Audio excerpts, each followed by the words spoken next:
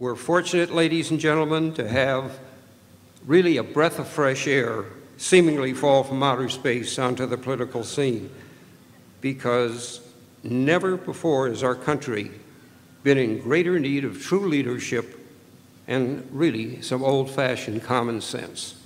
Ladies and gentlemen, Senator Barack Obama.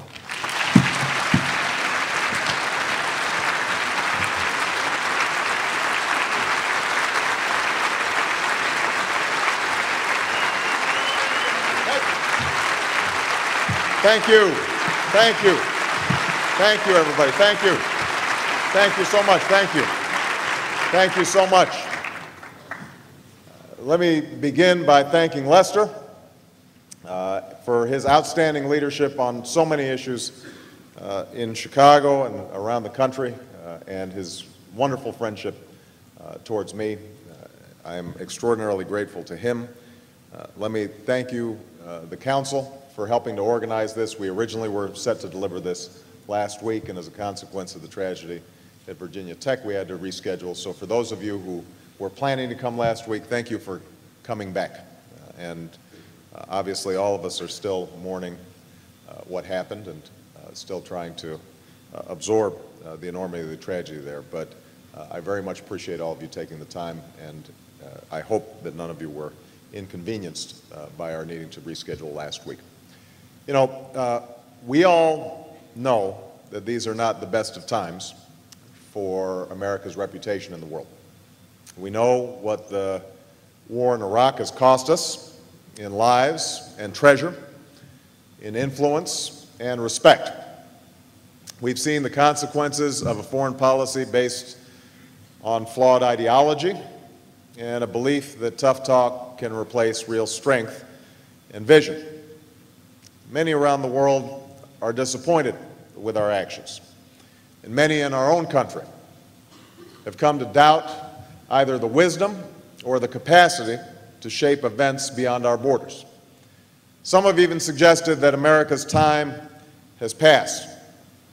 But while we know what we have lost as a consequence of this tragic war, I also know what I've found in my travels over the past two years in an old building in Ukraine. I saw test tubes filled with anthrax and the plague lying virtually unlocked and unguarded. Dangers, we were told, could only be secured with America's help. On a trip to the Middle East, I met Israelis and Palestinians who told me that peace remains a distant hope without the promise of American leadership. At a camp along the border of Chad and Darfur, refugees begged for America to step in and help stop the genocide that has taken their mothers and fathers, their sons and their daughters. And along the crowded streets in Kenya, I met throngs of children who asked if they'd ever get the chance to visit that magical place called America. So I reject the notion that America's moment has passed. I dismiss the cynics who say that this century cannot be another when, in the words of President Franklin Roosevelt, we lead the world in battling immediate evils and promoting the ultimate good. I still believe that America is the last best hope on earth. We just have to show the world why this is so.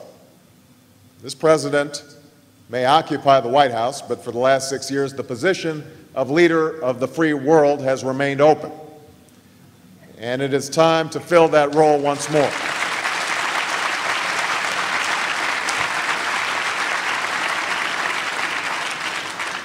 I believe that the single most important job of any president is to protect the American people.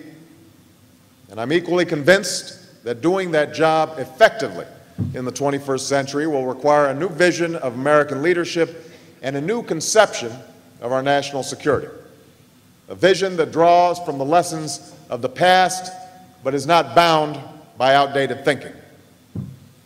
In today's globalized world, the security of the American people is inextricably linked to the security of all people.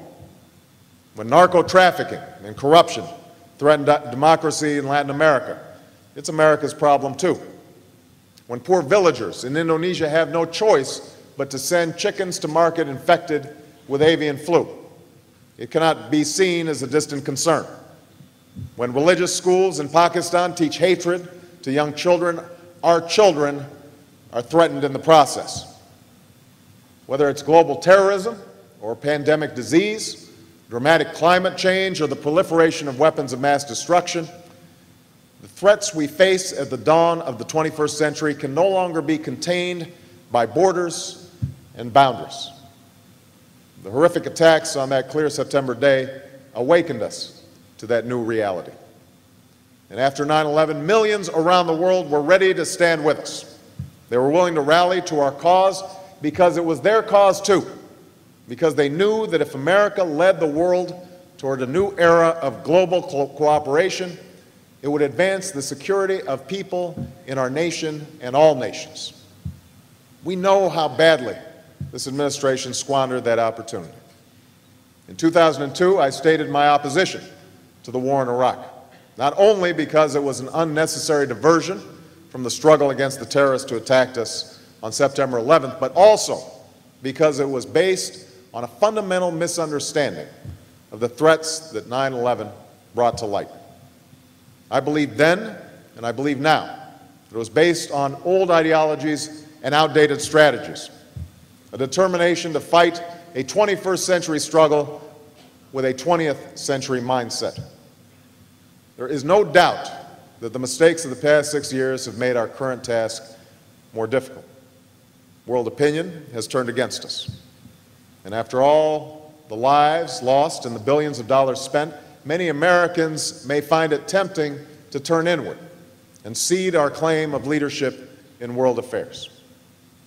I insist, however, that such an abandonment of our leadership is a mistake that we must not make. America cannot meet the threats of this century alone, but the world cannot meet them without America. We must neither retreat from the world nor try to bully it into submission. We must lead the world by deed and by example. We must lead by building a 21st century military to ensure the security of our people and advance the security of all people. We must lead by marshaling a global effort to stop the spread of the world's most dangerous weapons. We must lead by building and strengthening the partnerships and alliances necessary to meet our common challenges and defeat our common threats. And America must lead by reaching out to all those living disconnected lives of despair in the world's forgotten corners.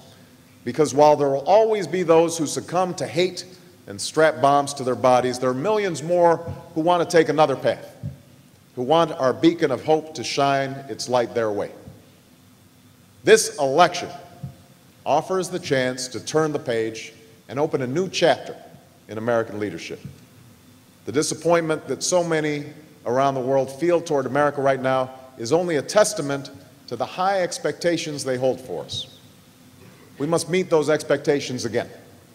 Not because being respected is an end in itself, but because the security of America and the wider world demands it. This is going to require a new spirit, not of bluster and bombast, but of quiet confidence and sober intelligence, a spirit of care and renewed competence. It will also require a new leader. And as a candidate for President of the United States, I'm asking you to entrust me with that responsibility.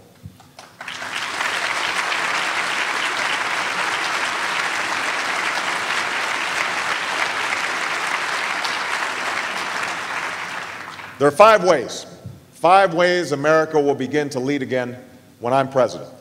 Five ways to let the world know that we are committed to our common security, invested in our common humanity, and still a beacon of freedom and justice for the world. The first way America will lead is by bringing a responsible end to this war in Iraq and refocusing on the critical challenges in the broader region. In a speech here in Chicago five months ago, I argued there can be no military solution to what has become a political conflict between Sunni and Shia factions. And I laid out a plan that I still believe offers the best chance of pressuring these warring factions toward a political settlement. A phased withdrawal of American forces with the goal of removing all combat brigades from Iraq by March 31st, of 2008. I acknowledged at the time that there are risks involved in such approach.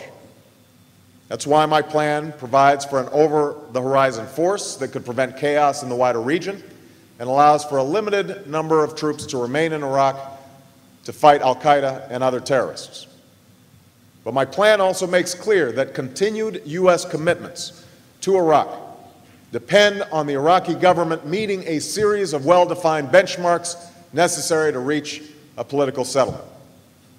Thus far, the Iraqi government has made very little progress in meeting any of the benchmarks, in part because our president has refused time and again to tell the Iraqi government that we will not be there forever. The president's escalation of U.S. forces may bring a temporary reduction in the violence in Baghdad at the price of increased U.S. casualties, though the experience so far is hardly encouraging.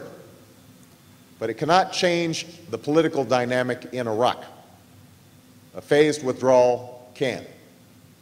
Moreover, until we change our approach in Iraq, it will be difficult to refocus our efforts on the challenges in the wider region, on the conflict in the Middle East, where Hamas and Hezbollah feel emboldened and Israel's prospects for a secure peace seem uncertain.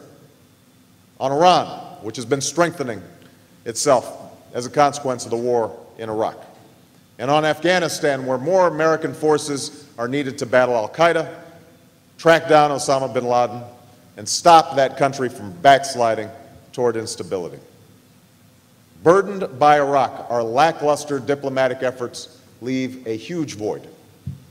Our interests are best served when people and governments from Jerusalem and Amman to Damascus and Tehran understand that America will stand with our friends, work hard to build a peaceful Middle East, and refuse to cede the future of the region to those who seek perpetual conflict and instability. Such diplomacy cannot be done on the cheap, nor can it be warped by an ongoing occupation of Iraq. Instead, it will require patient, sustained effort and the personal commitment of the President of the United States. That is a commitment I intend to make. The second way America will lead again is by building the first truly 21st century military and showing wisdom in how we deploy it. We must maintain the strongest, best equipped military in the world in order to defeat and deter conventional threats. But while sustaining our technological edge will always be central to our national security. The ability to put boots on the ground will be critical in eliminating shadowy terrorist networks we now face. That's why our country's greatest military asset is the men and women who wear the uniform of the United States. This administration's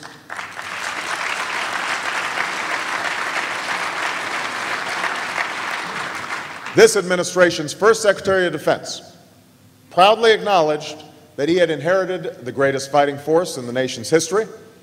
Six years later, he handed over a force that has been stretched to the breaking point, understaffed, and struggling to repair its equipment. Two-thirds of the Army is now rated not ready for combat. 88% of the National Guard is not ready to deploy overseas, and many units cannot respond to a domestic emergency. Our men and women in uniform are performing heroically around the world in some of the most difficult conditions imaginable. But the war in Afghanistan and the ill-advised invasion of Iraq have clearly demonstrated the consequences of underestimating the number of troops required to fight two wars and defend our homeland. That's why I strongly support the expansion of our ground forces by adding 65,000 soldiers to the Army and 27,000 Marines. But adding troops isn't just about meeting a quota. It's about recruiting the best and brightest to service. And it's about keeping them in service by providing them with first-rate equipment, armor, training, and incentives they deserve. It's about providing funding to enable the National Guard to achieve an adequate state of readiness again. And it's about honoring our veterans by giving them the respect and dignity they deserve and the care and benefits they have earned.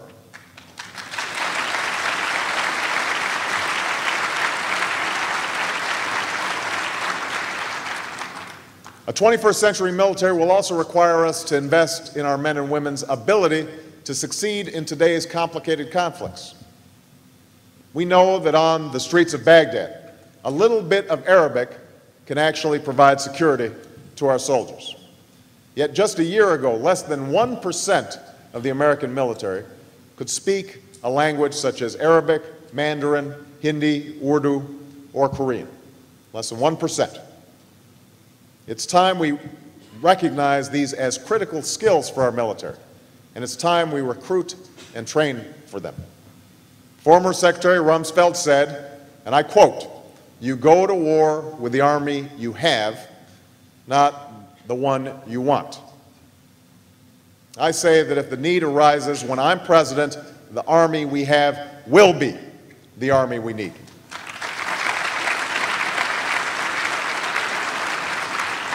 Of course, how we use our army matters just as much as how they are prepared. No president should ever hesitate to use force unilaterally if necessary to protect ourselves and our vital interests when we're attacked or imminently threatened.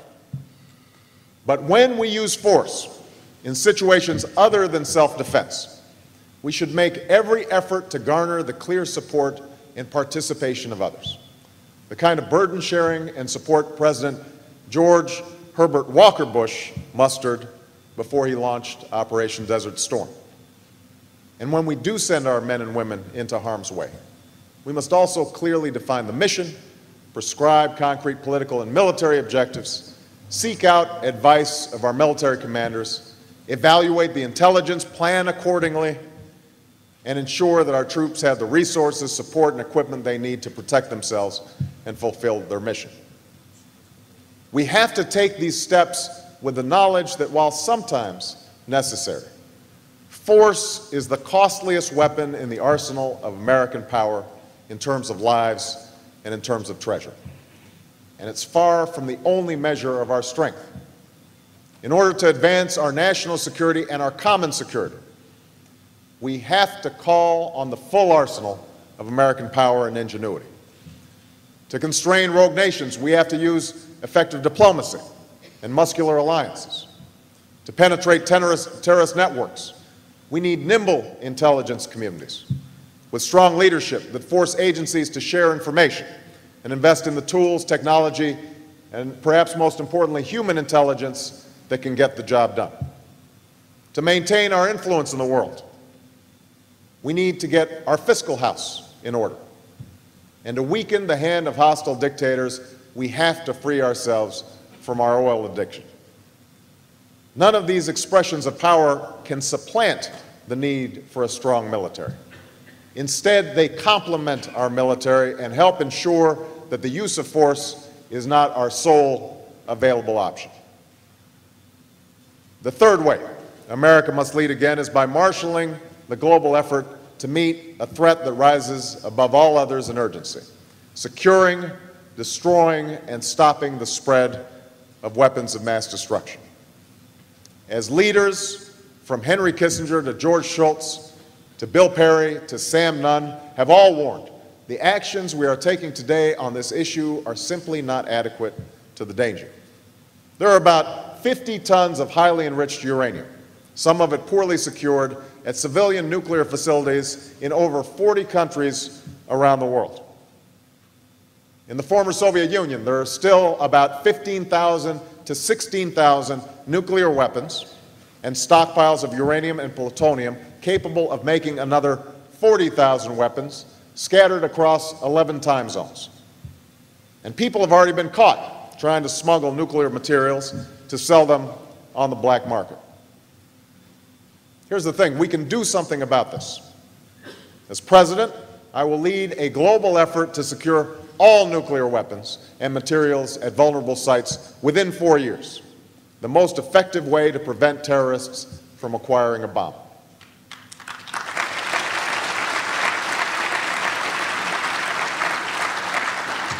We know, we know that Russia is neither our enemy nor our close ally right now. And we shouldn't shy away from pushing for more democracy, transparency, and accountability in that country. But we also know that we can and must work with Russia to make sure every one of its nuclear weapons and every cache of nuclear material is secured. And we should fully implement the law I passed with Senator Dick Lugar that would help the United States and our allies detect and stop the smuggling of weapons of mass destruction throughout the world.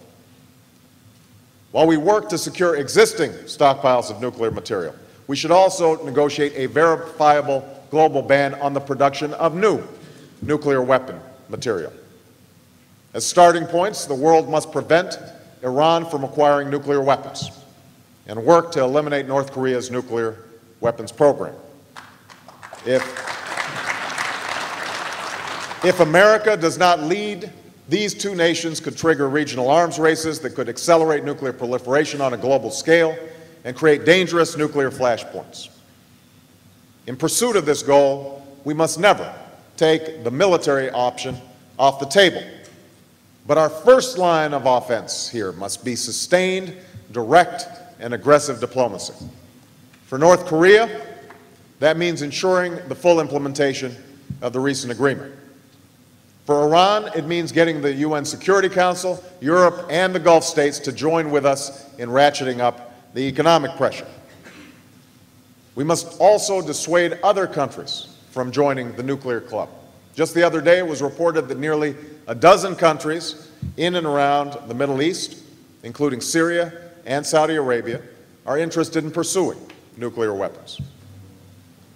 Countries should not be able to build a weapons program under the auspices of developing peaceful nuclear power.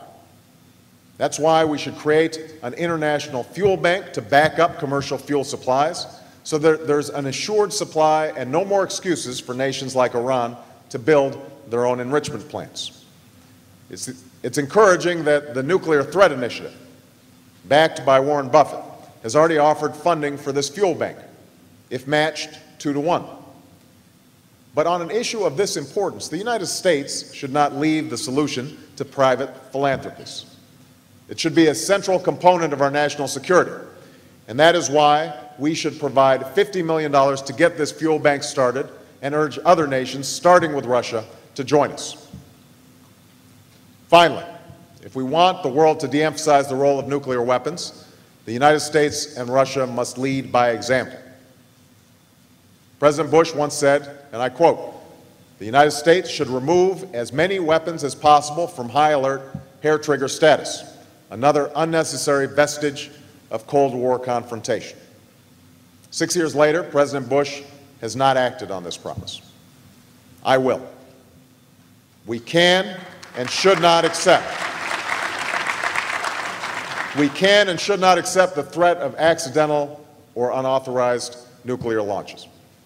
We can maintain a strong nuclear deterrent to protect our security without rushing to produce a new generation of warheads. The danger of nuclear proliferation reminds us of how critical global cooperation will be in the 21st century. And that's why the fourth way America must lead is to rebuild and construct the alliances and partnerships necessary to meet common challenges and confront common threats.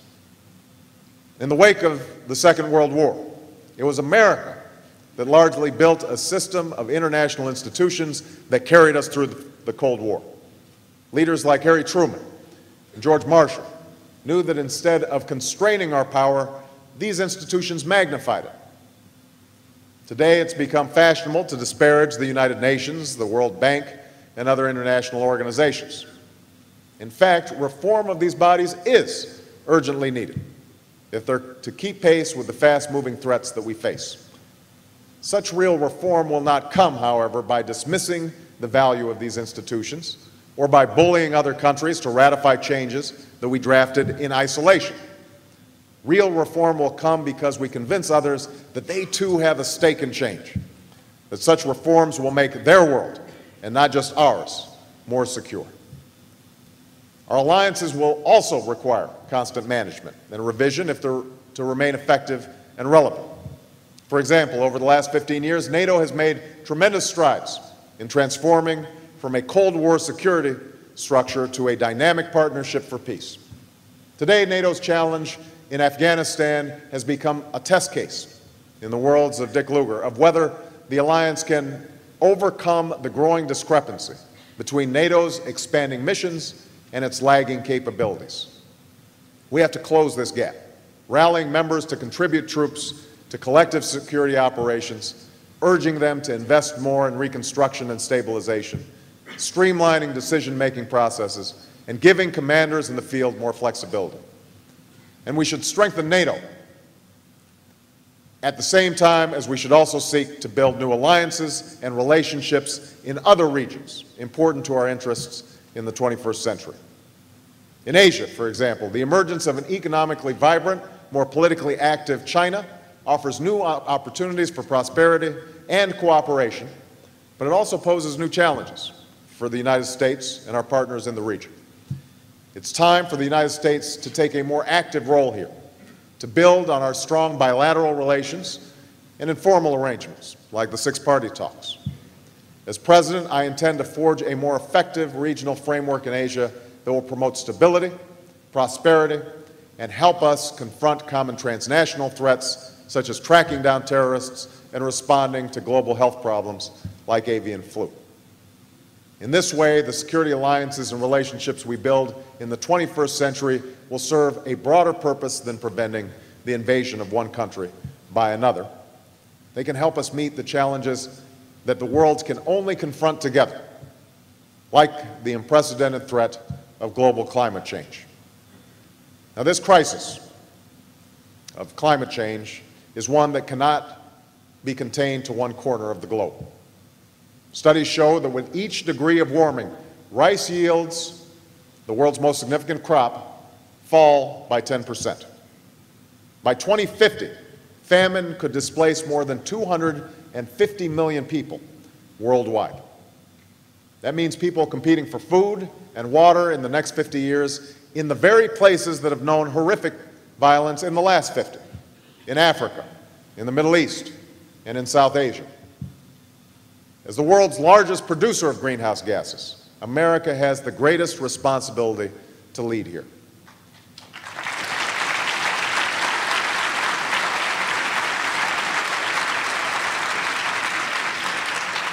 We must enact a cap and trade system that will dramatically reduce our carbon emissions. And we must finally free ourselves from our dependence on foreign oil by raising our fuel standards and harnessing the power of biofuels. Such, such steps are not just environmental priorities. They are critical to our security. America must take decisive action in order to more plausibly demand the same effort from others. We should push for binding and enforceable commitments to reduce emissions by the nations which pollute the most, the United States, the European Union, Russia, China, and India. Together, those four countries account for nearly two-thirds of our current emissions. And we should help ensure that growth in developing countries is fueled by low-carbon energy, the market for which could grow to $500 billion by 2050 and spur the next wave of American entrepreneurship. The fifth way America will lead again is to invest in our common humanity, to ensure that those who live in fear and want today can live with dignity and opportunity tomorrow. In recent reports, we saw that Al Qaeda's progress in recruiting a new generation of leaders to replace the old ones we have captured and killed, that these new recruits come from a broader range of countries than the old leadership, from Afghanistan to Chechnya, from Britain to Germany, from Algeria to Pakistan. Most of these recruits are in their early 30s. They operate freely in the disaffected communities and disconnected corners of our interconnected world, the impoverished, weak, and ungoverned states that have become the most fertile breeding grounds for transnational threats like terror and pandemic disease and the smuggling of deadly weapons. Some of these terrorist recruits may have always been destined to take the path they did, accepting a tragically warped view of their religion in which God rewards the killing of innocents. But millions of young men and women have not. Last summer, I visited the Horn of Africa's Combined Joint Task Force, which was headquartered at Camp Lemonnier in Djibouti. It's a U.S. base that was set up four years ago originally as a place to launch counterterrorism operations. But recently, a major focus of the task force has been working with our diplomats and aid workers on operations to win hearts and minds. While I was there, I also took a helicopter ride with Admiral Hunt, the commander of the task force, to Dire Dawa, where the U.S. was helping provide food and water to Ethiopians who had been devastated by flooding. One of the Navy captains who helps run the base recently told a reporter, quote, our mission is at least 95% civil affairs. It's trying to get at the root causes of why people want to take on the U.S. The admiral now in charge of the task force suggested that if they can provide dignity and opportunity to the people in that region, then the chances of extremism being welcomed greatly, if not completely, diminishes. And we have heard much over the last six years about how America's larger purpose in the world is to promote the spread of freedom. That is the yearning of all who live in the shadow of tyranny and despair. I agree. But this yearning is not satisfied by simply deposing a dictator and setting up a ballot box. The true desire of all mankind is not only to live free lives, but lives marked by dignity and opportunity by security and simple justice. Delivering on these universal aspirations requires basic sustenance, food and clean water, medicine and shelter. It also requires a society that is supported by the pillars of a sustainable democracy, a strong legislature, an independent judiciary, the rule of law, a vibrant civil society, a free press, and an honest police force. It requires building the capacity of the world's weakest states and providing them what they need to reduce poverty, build healthy and educated communities, develop markets, and generate wealth. And it requires states that have the capacity to fight terrorism, halt proliferation of deadly weapons, and build the health infrastructure needed to prevent and treat such deadly diseases as HIV, AIDS, and malaria. As president, I will double our annual investments in meeting these challenges to $50 billion by 2012.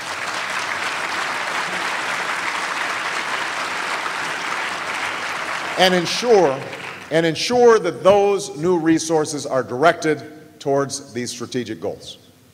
For the last 20 years, U.S. foreign aid funding has done little more than keep pace with inflation. Doubling our foreign assistance spending by 2012 will help meet the challenge laid out by Tony Blair at the 2005 G8 conference, and it will help push the rest of the developing world to invest in security and opportunity. As we've seen recently, with large increases in funding for our AIDS programs, we have the capacity to make sure this funding makes a real difference. Part of this new funding will also establish a $2 billion global education fund that calls on the world to join together in eliminating the global education deficit, similar to what the 9-11 Commission proposed. Because we cannot hope to shape a world where opportunity outweighs danger unless we ensure that every child, everywhere, is taught to build and not to destroy. I know that many Americans are skeptical about the value of foreign aid today. But as the U.S. military made clear during my visit at Camp Lemonnier, a relatively small investment in these fragile states up front can be one of the most effective ways to prevent the terror and strife that is far more costly, both in lives and treasure, to the United States down the road. In this way, $50 billion a year in foreign aid, which is less than one half of 1% of our GDP, doesn't sound as costly when you consider that last year the Pentagon spent nearly double that amount in Iraq alone. Finally, while America can help others build more secure societies, we must never forget that only the citizens of these nations can sustain them. The corruption I heard while visiting parts of Africa has been around for decades. But the hunger to eliminate such corruption on the part of the population there is a growing and powerful force. And so in these places where fear and want still thrive, we must couple our aid with an insistent call for reform. We must do so not in the spirit of a patron, but the spirit of a partner, a partner that is mindful of its own imperfections.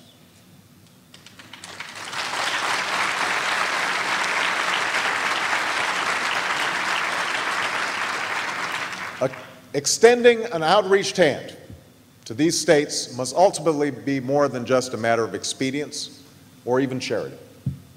It must be about recognizing the inherent equality and worth of all people.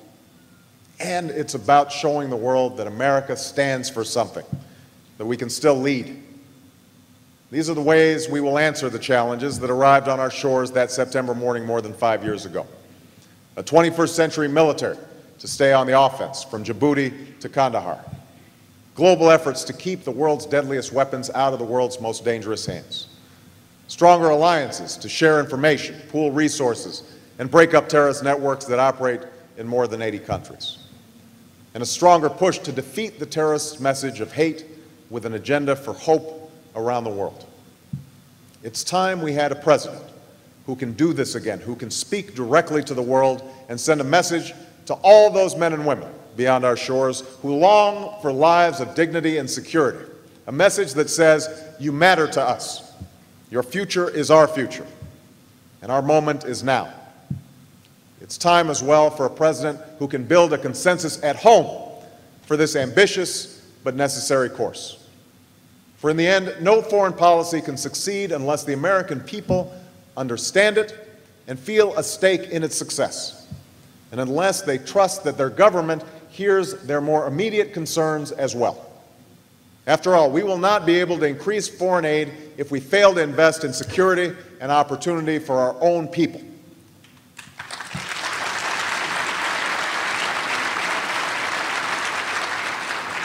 We can't negotiate trade agreements to help spur development in poor countries so long as we provide no meaningful help to working Americans burdened by the dislocations of a global economy. We can't expect Americans to support placing our men and women in harm's way if we cannot prove that we will use force wisely and judiciously. But if the next president can restore the American people's trust, if they know that he or she is acting with their best interests at heart, with prudence and wisdom and some measure of humility, then I believe the American people will be ready to see America lead again. They will be ready to show the world that we are not a country that ships prisoners in the dead of night to be tortured in far off countries, that we are not a country that runs prisons which lock people away without ever telling them why they're there or why they're charged, what they're charged with, that we're not.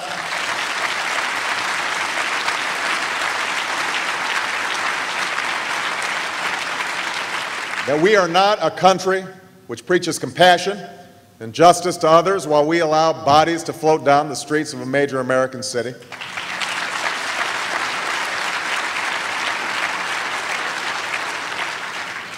That is not who we are. America is the country that helped liberate a continent from the march of a madman. We are the country that told the brave people of a divided city that we were Berliners too. We sent generations of young people to serve as ambassadors for peace in countries all over the world. And we're the country that rushed aid throughout Asia for the victims of devastating tsunamis. Now it's our moment to lead, our generation's time to tell another great American story. So someday we can tell our children that this was the time when we helped forge peace in the Middle East, that this was the time that this was the time when we confronted climate change and secured the weapons that could destroy the human race. That this was the time when we brought opportunity to those forgotten corners of the world. And this was the time when we renewed the America that has led generations of weary travelers from all over the world to find opportunity and liberty and hope on our doorstep. Many of you know one of those travelers was my father. I barely knew him, but when, after his death, I finally took my first trip to his tiny village in Kenya and asked my grandmother if there was anything left from him. She opened a trunk and took out a stack of letters, which she handed to me. There were more than 30 of them, all handwritten by my father, all addressed to colleges and universities across America, all filled with the hope of a young man who dreamed of more for his life. It's because somebody in this country answered that prayer that I stand before you today with faith in our future, confidence in our story, and a determination to do my part in writing our country's great next chapter. The American moment has not passed. The American moment is here. And like generations before us, we will seize that moment and begin the world anew. Thank you very much, everyone. Thank you. Thank you. Thank you.